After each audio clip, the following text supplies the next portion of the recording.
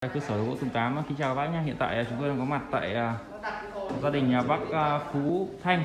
Đây bác khách hàng đây đây là khu mới bác nhỉ? Khu ờ, máy vợ khu máy à, máy máy máy máy vợ máy vở. Và tại à, xã Tiên Lương. Đấy, Cẩm Khê. Hôm nay chúng tôi đến bàn giao cho gia đình bác là một bộ à, trường kỷ gỗ gỗ. Như đây là không gian à, phòng à, khách nhà bác đây. Đấy, có bộ à, sập gỗ đây sập ngồi rồi thì bộ đồ thờ của bác rất đẹp nhé mọi người à, tham khảo bộ đồ thờ rất đẹp nhé Đấy, rất tinh tế luôn. Bên này là sập ngồi án gian thờ bên này là đấy, trường kỷ đấy, tủ chè nữa. Rất đẹp đây bộ trường kỷ bộ của quý khách tham khảo bộ trường kỷ chúng tôi uh, vừa bàn giao cho bác và gia đình đây. Đấy, nó vừa vặn vào đây không gian thờ và không gian phòng khách bác ờ, Phú Thanh. Đấy thế bác cho cháu xin ý kiến luôn xem nào bác nhỉ.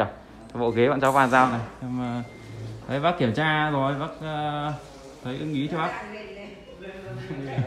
Đây là ưng ý rồi thôi vâng vâng được. Thế cháu cảm ơn Đấy, hôm trước là bác với anh là xuống uh, xưởng cháu xem mọc rồi cũng như là hôm trước là cái nhà gần đây cũng mua đồ của bọn cháu bác nhỉ nhà là đúng không? Bên kia. Vâng đấy. Đấy, hôm trước khách mua lộc bình rồi à cái này là cái vân vâng ạ. cái vân. Vâng. Vâng cái vân. Dạ vâng.